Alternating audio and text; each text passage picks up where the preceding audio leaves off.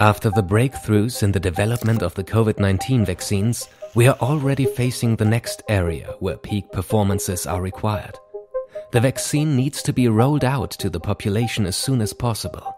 In addition, some selected vaccines must be transported at temperatures as low as minus 80 degrees without interrupting the cold chain. Such extreme conditions have never been experienced before for a transport of this magnitude. Experts estimate that up to 10 billion doses are needed.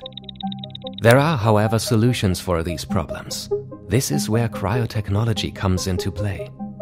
Ultra-cold biobanks have been used for decades in science and medicine to store and transport pharmaceuticals. Cryogenic containers, which use liquid nitrogen, are set to play an important role in the storage and distribution of COVID 19 vaccines. They are going to be used to transport the vaccine from the manufacturer to the patient. A liquid nitrogen cooled freezer keeps the low temperatures very long, up to 30 days at freezing temperatures.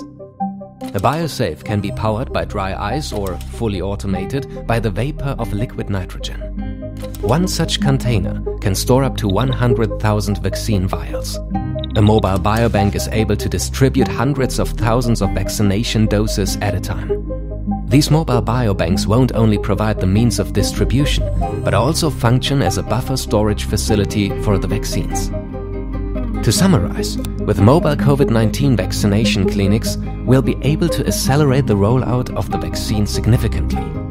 They are independent of electrical power supply. They can reach remote places quickly. The temperature of the vaccines is monitored automatically. The classic styrofoam boxes are not enough to reach rural areas or to overcome time challenges in transport.